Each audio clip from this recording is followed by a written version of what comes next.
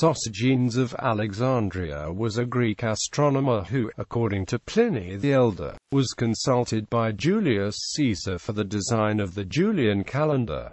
Little is known about him apart from Pliny's natural history. Sosigenes appears in Book 18, 210-212. There were three main schools, the Chaldean, the Egyptian, and the Greek, and to these a fourth was added in our country by Caesar during his dictatorship, who with the assistance of the learned astronomer Sosigenes brought the separate years back into conformity with the course of the sun.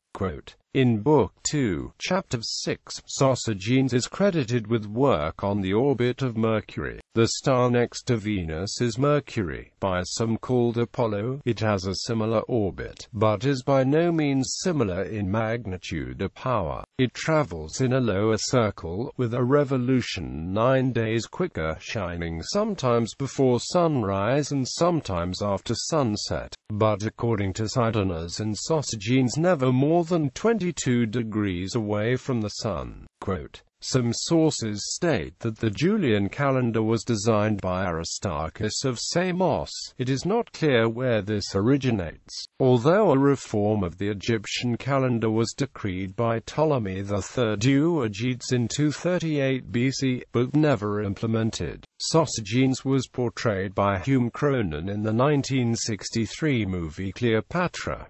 This portrayal is heavily fictionalized. He serves as Cleopatra's tutor, advisor and later her envoy to Rome. He is ultimately murdered in the Forum by Octavian, commencing his war against Egypt. None of these events are present in historical record, and were invented for the film.